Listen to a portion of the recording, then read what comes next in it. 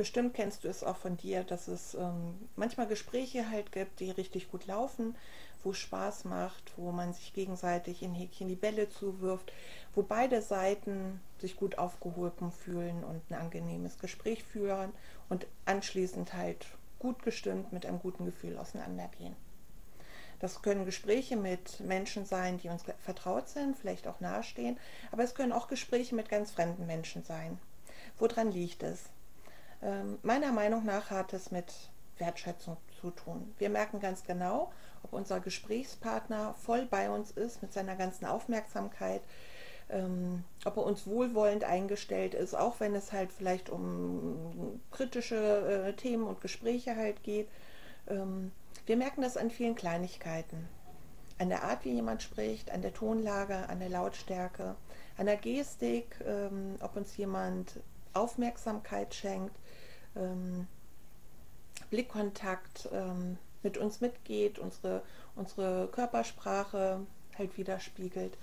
Ähm, in der letzten Woche hatte ich ein solches Gespräch. Ich war zum Mittagessen mit einer Frau verabredet, die ich einmal kennengelernt habe und die ich nicht besonders gut kenne.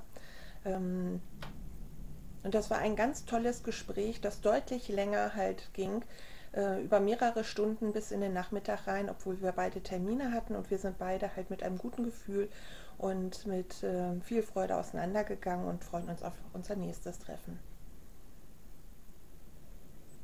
Ja, und manchmal fühlen wir selber uns, uns in unserer Haut auch nicht wohl. Woran liegt das? Dass es manchmal gut klappt mit uns selbst, wenn wir alleine sind. Und manchmal klappt es gar nicht. Ich glaube, das hat auch mit der Wertschätzung uns selbst gegenüber zu tun, mit der Selbstliebe. Ich von mir kann zum Beispiel halt sagen, dass ich mit mir viel kritischer umgehe als mit meinem Gegenüber. Oft kommt dann halt kommen so kleine Stimmen, wie hast du das wieder gemacht? Eben habe ich mich verhaspelt, das stinkt mir auch, hm, war ja wieder klar. Das sind die kleinen Selbstgespräche, die uns manchmal runterziehen. Wie wäre es, wenn wir stattdessen mal eine ganz andere Strategie halt fahren? Mal einen Tag den Timer vom Handy halt stellen und so jede Stunde, wie es halt passt, einen Piepton äh, äh, klingen lassen und ähm, ganz im Stillen zu sich selbst zu sagen, toll, dass ich dich kenne.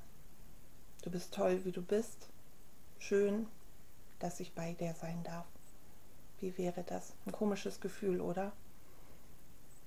Oder wie wäre es, wenn du dich mal hinsetzt und einen Liebesbrief für dich halt schreibst, in einen Umschlag packst, frankierst, deine Anschrift halt natürlich drauf schreibst und diesen Briefumschlag einem Freund oder jemanden halt gibt, gibst, der ihn für dich abschickt.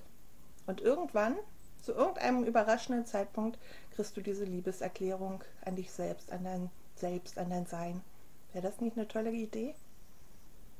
Ich werde es machen. Du auch? Mach's gut.